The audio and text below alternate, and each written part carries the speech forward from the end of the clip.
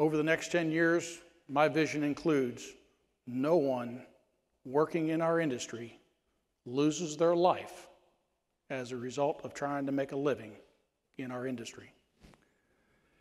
As we collect that data, we have the opportunity, like putting together a 10,000 piece puzzle.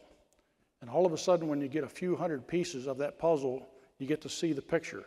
And we can begin to target those issues one by one, like a sharpshooter, to try to address those issues, whether it be on the safety side, through safety reporting, good catch, stop the job interventions and incidents, near misses, or be on the environmental side.